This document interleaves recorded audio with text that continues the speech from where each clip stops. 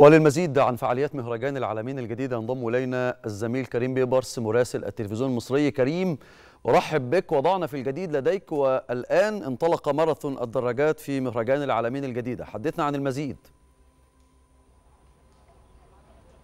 نعم تحياتي لكم وتحياتي لجميع السادة المشاهدين. بالفعل منذ دقائق بدأ ماراثون الدراجات هنا في مدينة العالمين الجديدة. نتحدث عن ألف دراجة تحركوا على ثلاثة أفواج بعدد كبير من الشباب والفئات العمرية المختلفة شاركوا في المهرجان. ربما الصورة دائما تتحدث عن نفسها أفضل من أن أشرحها. هذه هي يعني الدرجات التي وصلت إلى المنطقة الترفيهية بمدينة العالمين الجديدة. نتحدث عن عشرات الدراجات ومئات الدراجات تحركوا على دفعات وهذه المنطقة التي أقف أنا فيها الآن هي منطقة نهاية الماراثون الخاص بالدراجات بالطبع يعني يأتي فكرة هذه تأتي فكرة هذه الدراجات أو هذا الماراثون بشكل عام ضمن فعاليات مهرجان العالمين الجديدة في نسخته الثانية للتأكيد على أهمية أن الرياضة للجميع. ولكن من أهم الرياضات هي بالطبع ركوب الدراجات خاصة لأنها يعني تجوز لجميع الفئات العمرية تجوز للرجال تجوز للسيدات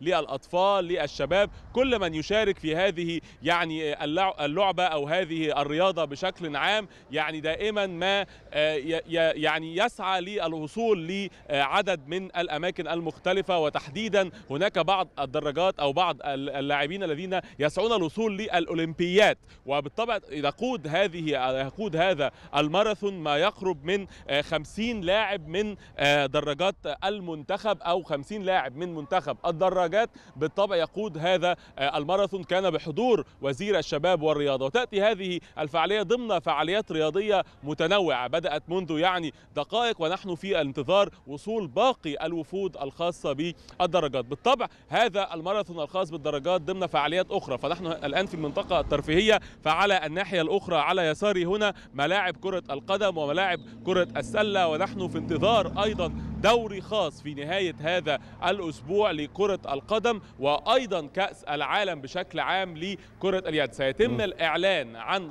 قرعة كأس العالم لكرة اليد هنا من المنطقة الترفيهية في مدينة العالمين الجديدة. وهو ما يؤكد أن مدينة العالمين الجديدة أصبحت الآن مكان رئيسي لاستعراض الفعاليات الرياضية بشكل عام المحلية والدولية والعالمية لأن كأس العالم للأندية لكرة كأس العالم لكرة اليد سيتم اختيار القرعة هنا من المنطقة الترفيهية بعد انتهاء ماراثون الدرجات. بالطبع هذه الفعاليات الخاصة بمهرجان العالمين الجديدة لا تقتصر على الفعاليات الرياضية فقط فنحن م. نتحدث أيضا عن فعاليات ثقافية وترفيهية في نفس هذا المكان. الفعاليات الثقافية نجد فرق الفنون الشعبية ونجد السيرك القومي تقريبا يوميا يقومون ب يعني العروض المختلفة والمتنوعة بجانبها المسرح الخاص بالمسرحيات التي أيضا يتم عرضها في نهاية كل أسبوع. وبالطبع الجميع في انتظار الحفل الغنائي بالفرقة كايروكي الذي سيكون في نهاية هذا الأسبوع في منطقة ال U Arena. نحن الآن في انتظار كما ذكرنا نهاية هذا الماراثون وهنا عند منطقة